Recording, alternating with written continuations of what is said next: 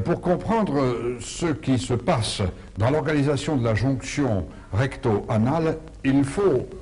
se remémorer la morphogénèse du pôle caudal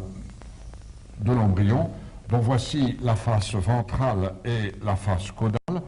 avec euh, vers la face dorsale le prolongement caudal et la métamérie en sommite que nous allons rappeler de la sorte. Le tube neural va pour sa part s'arrêter définitivement à l'aplomb de L2, se prolongeant par le phylum terminalé, qui lui-même va être subdivisé en deux portions. Premièrement, la portion du cône dural, du cône durmérien, qui va descendre, lui, jusqu'à l'aplomb de S2,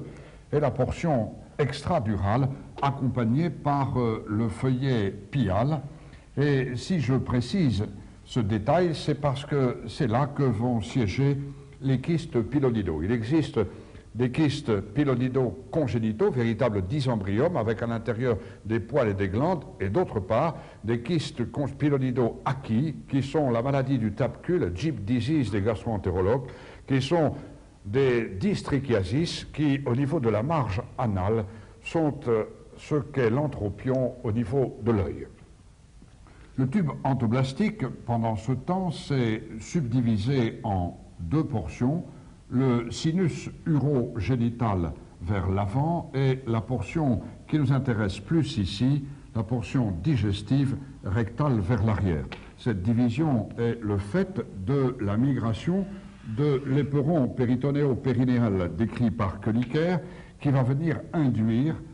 le noyau fibreux central du périnée qui est la clé de voûte du périnée. Sur ce noyau fibreux central, nous allons en effet avoir une condensation myotomiale du premier type de muscle qui va caractériser cette jonction anorectale. C'est le sphincter strié, dérivé du sphincter cloacal, qui sera innervé par sa face périnéale, par le nerf pudendal. La deuxième structure va correspondre aux fibres musculaires lisses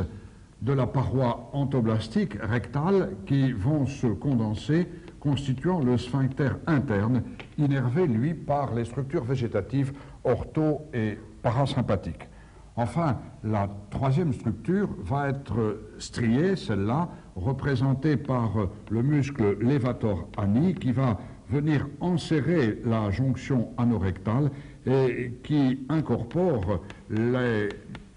myotomes des sommites coccygiens et caudaux qui ont régressé qui vont venir s'intégrer à la formation du muscle levatorani qui sera innervé par sa face pelvienne, par les racines S3, accessoirement S4.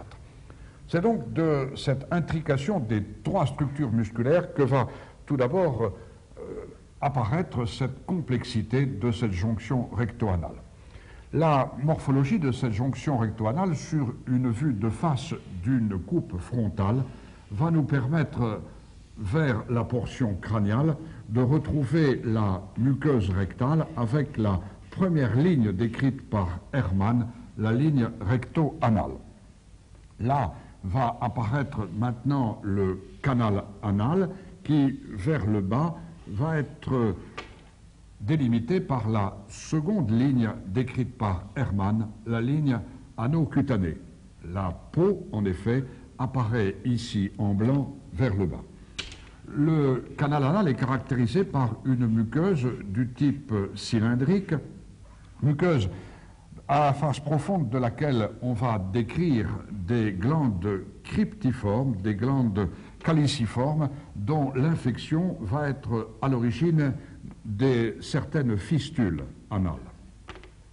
Sur le trajet du canal anal, on décrit des plis sous le nom de colonnes de Morgani plis euh, sur lesquels les dilatations veineuses vont assurer l'étanchéité du canal anal décrite sous le nom de coussinet élastique de Thomson et lors des dilatations pathologiques vont être à l'origine des hémorroïdes. Entre ces colonnes à disposition radiaire se trouvent de petits replis valvulaires décrits eux aussi par Morgani, avec des formations en et qui délimitent une ligne dite ligne anopectinée de Morgani. La peau vers le bas va être caractérisée par des poils avec les follicules pileux, avec les glandes sébacées, avec les glandes sudoripares, avec les glandes qui ont été décrites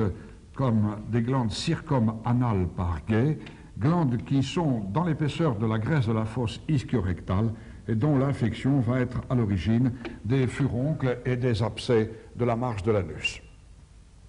La dimension du canal anal varie selon les auteurs. En effet, certains ne lui donnent que 10 mm car ils considèrent que les colonnes de Morgani font partie de l'ampoule rectale. D'autres, au contraire, donnent au canal anal 40 mm de structure,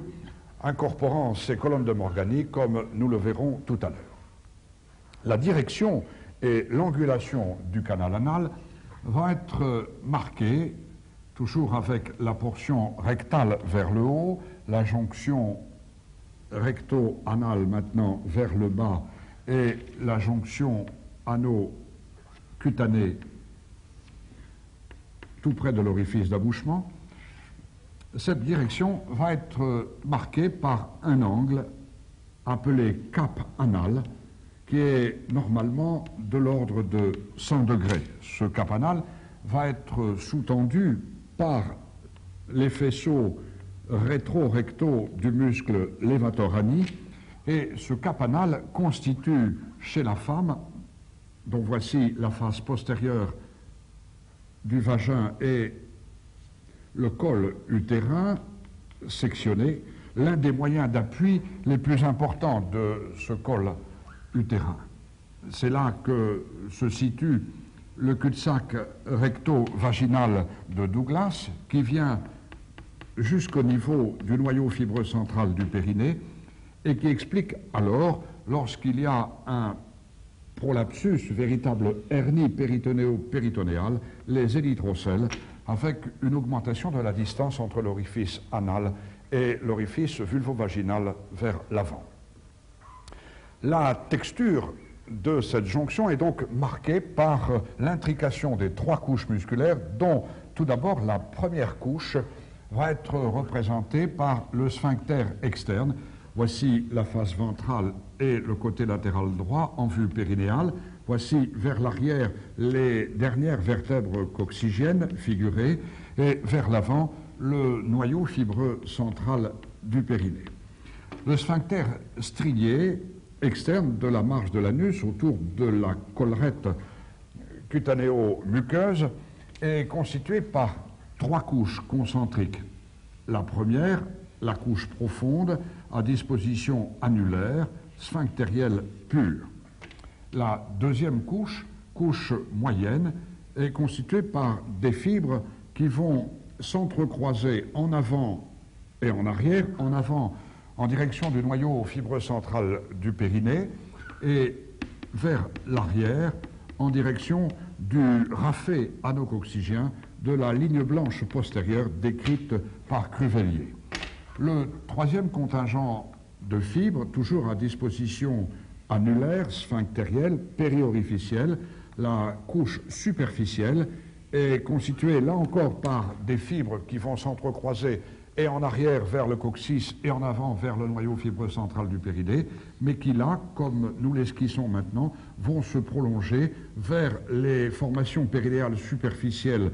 antérieures, vers le muscle bulbo-caverneux et vers le muscle transverse superficiel du périnée. Nous sommes ici de chaque côté à la plombe de la graisse de la fosse ischio-rectale et c'est à l'intérieur de cette graisse que l'on voit arriver les ramifications terminales du nerf pudendal issues des racines S3, S4, ramifications à destinée motrice, mais à destinée également sensitive. La deuxième structure musculaire importante qui caractérise cette jonction va être représentée par le muscle levator ani sur une coupe sagittale dont voici la portion crâniale et la face ventrale. Voilà l'ampoule rectale et la jonction recto-anale avec le cap anal précédemment étudié et avec schématisé en une seule couche le sphincter strié de la marge de l'anus, dont voici la ligne anneau-cutanée de Hermann. Le noyau fibreux central du périnée est dans ce plan.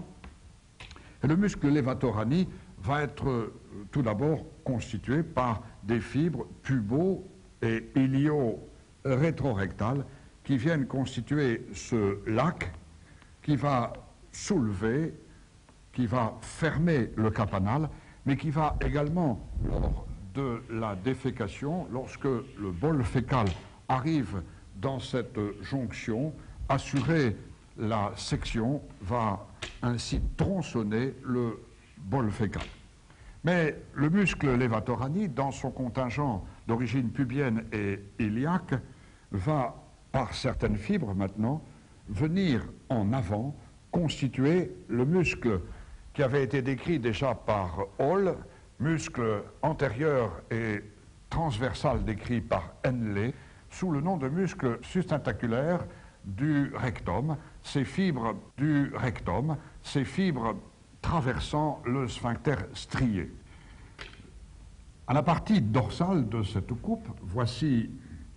la pointe coccygienne avec les dernières vertèbres coccygiennes. Voilà le rafet anococcygien. Et le deuxième contingent de fibres musculaires de cette jonction va être d'origine coccygienne. Il s'agit de fibres qui vont, venues de l'arrière, enserrer la portion moyenne du canal anal, constituant le muscle recto-coccygien, muscle rétractor ani, qui avait lui aussi déjà été décrit par Trice. Et Shafik a tout récemment précisé la portion terminale avec, à partir du noyau fibreux central du périnée vers l'avant, des fibres qui, elles aussi, sont intriquées avec le sphincter strié et tout en bas font le tour par l'arrière du canal anal. Ces fibres, chez l'homme, se prolongent par des fibres à destinée prostatique et à destinée euh, séminale. Ainsi, ces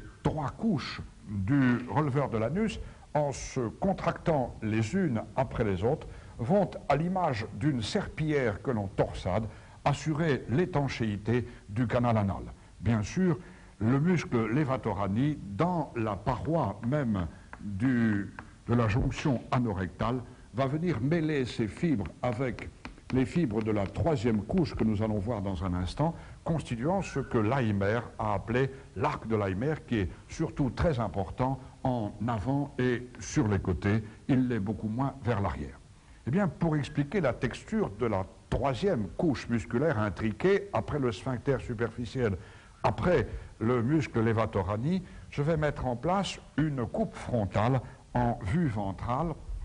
coupe sur laquelle nous allons tout d'abord retrouver les trois portions précédemment isolées. Voilà sur cette vue ventrale la portion crâniale et la portion latérale droite, à savoir vers le haut la portion rectale pure, puis ici au milieu la portion anale, et enfin vers le bas la portion cutanée, dont voilà rappeler les structures pileuses. Sur la hauteur du canal anal, voici les colonnes de Morgani et l'un de ces replis valvulaires détaillés précédemment. La première couche musculaire lisse, troisième constituant musculaire de cette jonction, est une couche à disposition circulaire. Les fibres, ici sectionnées, vont maintenant s'épaissir en regard de la jonction anorectale pour constituer le sphincter interne au sphincter lisse. Le sphincter externe, lui, va apparaître sur cette coupe avec les trois couches précédemment isolées, la couche la plus profonde, puis la couche intermédiaire, et enfin la couche superficielle du sphincter strié. La deuxième couche de fibres musculaires lisses est une couche longitudinale constituée par trois types de fibres dont voici premièrement les fibres les plus internes qui vont en regard du canal anal, pour certaines d'entre elles, se replier et constituer ici ce que Park a appelé un ligament suspenseur, soulevant ces petits replis valvulaires qui ont une très très grande importance parce que c'est là que se trouvent les plexus veineux hémorroïdaires supérieurs qui vont, lorsqu'ils se dilatent, constituer les hémorroïdes internes et qui sont maintenus en place par ce ligament de Park dont l'effondrement va expliquer le processus dans la maladie hémorroïdaire. D'autres de ces fibres descendent plus bas et vont remonter, toujours appartenant à cette couche numéro 1, dans l'épaisseur des colonnes de Morgani. La couche longitudinale numéro 2, moyenne, est formée de fibres qui vont maintenant traverser l'épaisseur des couches du sphincter strié pour venir s'étaler à la face profonde de la peau, mêlée avec les expansions du levatorani et constituer un véritable muscle possier appelé le corrugator cutis ani, muscle qui va friper la peau de la marge de l'anus et qui va pouvoir volontairement moduler le P lors de l'émission des gaz. Enfin, la troisième couche, la plus superficielle, longitudinale toujours lisse, va s'arrêter pour euh, se replier et se mêler dans la constitution de cet arc décrit par Leimer, qui est, lui, formé par l'expansion des fibres issues du muscle levatorani, comme nous allons le montrer maintenant, fibres dont certaines vont rejoindre ce corrugator cutis ani. Voilà ici donc comment se termine la troisième couche longitudinale superficielle de la musculeuse lisse de la paroi rectale. Ces fibres vont être innervées par les contingents ortho et parasympathiques. Bien, l'une des caractéristiques aussi importantes de cette jonction recto-anale va résider dans son innervation, dans l'intrication des innervations. Nous allons remettre en place sur une même coupe frontale, en vue ventrale, dont voici la moitié gauche la portion crâniale, la muqueuse rectale vers le haut, la muqueuse anale dans la portion moyenne et le revêtement cutané dans la portion la plus basse. Nous allons, de façon plus simplifiée, rappeler le sphincter strié de la marge de l'anus de la sorte, rappeler également la terminaison des fibres du muscle levator ani, rappeler le sphincter lisse interne, circulaire, et certaines des fibres longitudinales de cette façon. Eh bien, tout d'abord, sous l'angle de la sensibilité, la somesthésie, tout d'abord, voici figuré le cône terminal médulaire avec les myélomères sacrés et les myélomères coccygiens, la somesthésie extéroceptive, nociceptive et discriminative va, après un relais dans les renflements ganglionnés des racines postérieures, des racines sacrées, à partir du nerf pudendal, à partir des rameaux coccygiens de S3, S4, S5 et des rameaux coccygiens, rejoindre les colonnes, les cordons postérieurs de la moelle. La somesthésie proprioceptive, celle-là, qu'elle soit volontaire, qu'elle soit consciente ou inconsciente, va elle aussi, à partir des muscles levatorani et du sphincter strié de la marge de l'anus, faire relais au niveau du cône terminal de la moelle. Pour ce qui est de la sensibilité splanchnique, viscérale, celle-ci va être intriquée au niveau du canal anal et dépendre du système orthosympathique faisant relais dans la chaîne latérovertébrale ganglionnée que je schématise maintenant et ces différentes afférences vont maintenant rejoindre ici le cordon orthosympathique de la moelle sacrée par le sympathique latérovertébral sacré. Pour ce qui est de la sensibilité et de la motricité, car il s'agit d'une structure qui est très très particulière, voici les formations nexus, qui sont en quelque sorte des cellules auto-contractiles à l'intérieur de la paroi anale et de la paroi rectale. Ces formations vont persister après la section de la moelle et vont disparaître dans la ganglionose que l'on décrit dans la maladie de Hirschsprung, par exemple, ou bien lors de l'évolution de certaines rectocolites ulcéro-hémorragiques. Pour ce qui est de la motricité, la somatomotricité va, à partir des voies pyramidales, à partir de la moelle sacrée maintenant, venir commander la contraction volitionnelle du sphincter strié et du levatorani, mais ces contractions ne peuvent dépasser 45 secondes à une minute au grand maximum. Elles peuvent en quelque sorte faire échec à l'émission spontanée des matières et assurer une continence, mais qui ne va pas durer très longtemps. En effet, lors de l'arrivée du bol fécal à la jonction recto-anale, va apparaître un réflexe recto-anal inhibiteur qui va alors lever la contraction permanente, l'état de contraction permanente dans lequel se trouve le sphincter interne strié. Cette euh, musculature lisse va, pour sa part, dépendre, bien sûr, du système orthosympathique, qui est un système inhibiteur, celui-là, alors que la commande végétative parasympathique, qui passe par le nerf érecteur d'écart, par les mêmes racines S2, S3 et S4, est facilitatrice, celle-là, le parasympathique, n'ayant aucun contingent sensitif.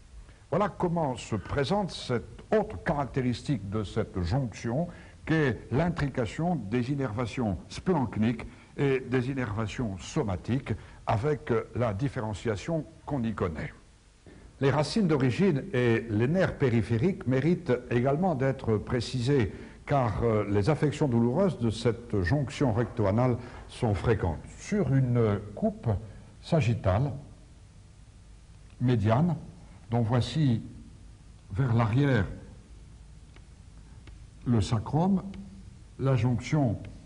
sacro-coccygienne, la jonction lombo-sacrée, la face crâniale et la portion ventrale. Voici vers le côté et vers l'avant, profilée la symphyse pubienne et la portion latérale avec euh, les trous sacrés antérieurs, le canal sacré vers l'arrière. Le profil de l'os avec la tubérosité, la ischiatique et le foramen obturé, et les formations ligamentaires qui vont avoir une certaine importance dans les compressions de ces rameaux nerveux destinés à la jonction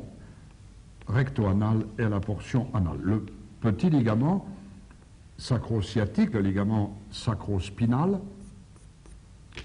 le plus en dedans, par rapport au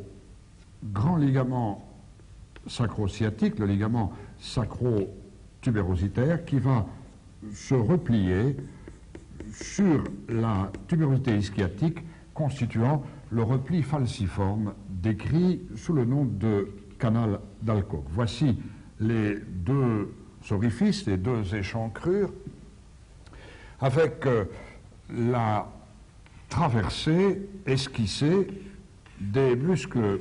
pelvitrocantériens que sont le piriformis, le pyramidal du petit bassin, par la grande échancrure sciatique au-dessus et le muscle obturateur interne par la petite échancrure sciatique au-dessous. Les racines d'origine du plexus sacro-coccygien sont tout d'abord le tronc lombo-sacré L4, L5, qui, rejoint par S1, S2 et S3, donne naissance au grand nerf ischiatique. C'est à partir de S3 et de S4 que va prendre naissance le nerf pudendal qui, dans un premier temps, va sortir de la cavité pelvienne par la portion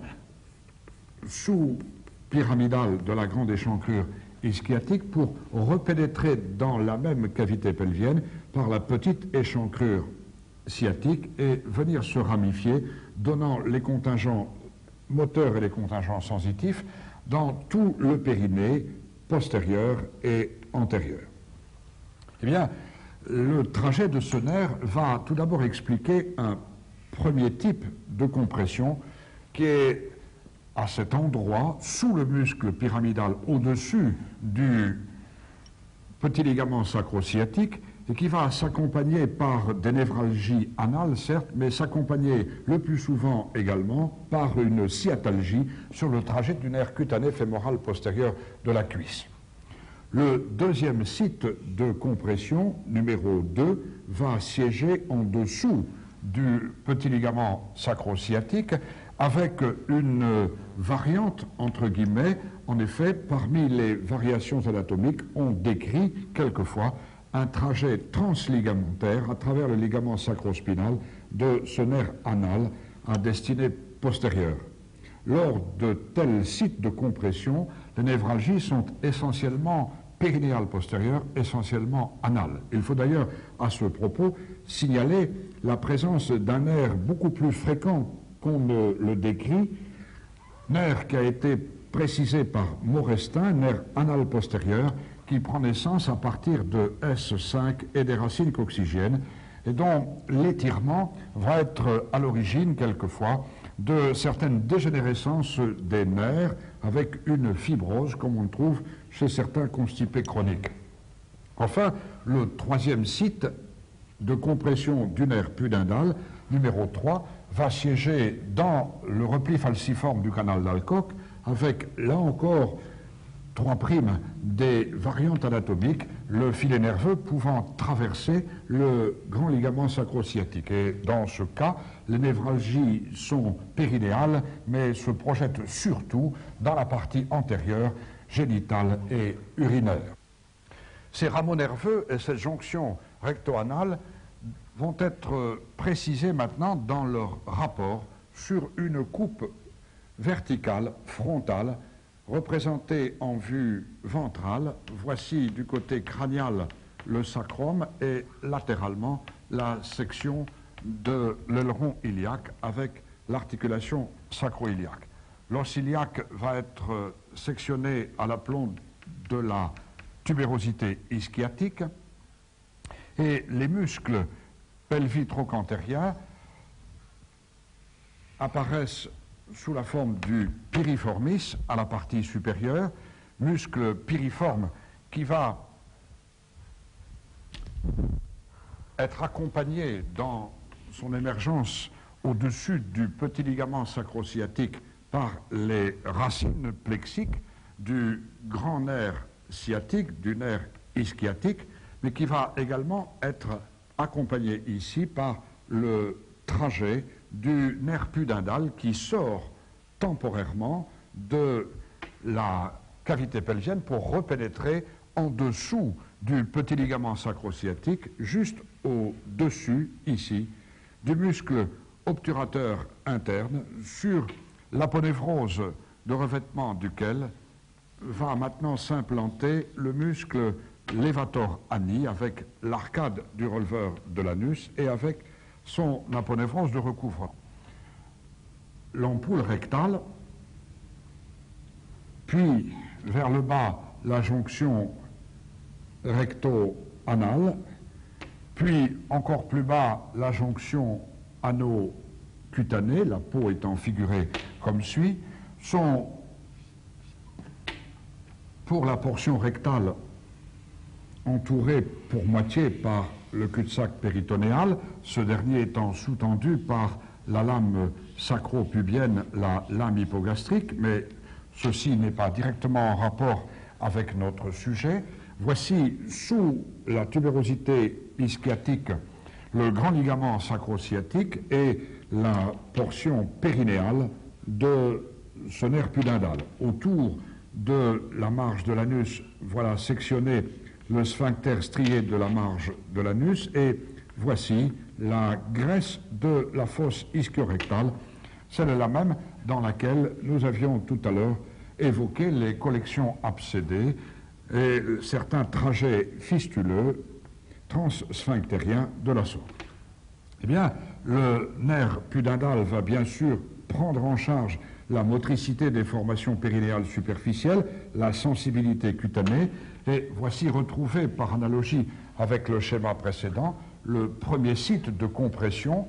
au-dessus du ligament sacrospinal en dessous du muscle piriforme, le second site de compression en dessous du ligament sacrospinal au-dessus du muscle obturateur et le troisième site de compression dans le canal d'Alcock. Pour terminer, je voudrais rappeler quelques précisions spécifiques à cette jonction recto-anale sous l'angle de la vascularisation. Pas tellement sous l'angle des artères qui sont bien connues, pas tellement sous l'angle des lymphatiques, mais surtout sous l'angle veineux, tant la pathologie hémorroïdaire est fréquente. Sur une même coupe frontale, avec du côté crânial l'ampoule rectale et en dessous le canal anal, puis la, jonction ano-cutanée. Voilà le sphincter strié de la marge de l'anus. Les veines de cette région vont constituer des plexus veineux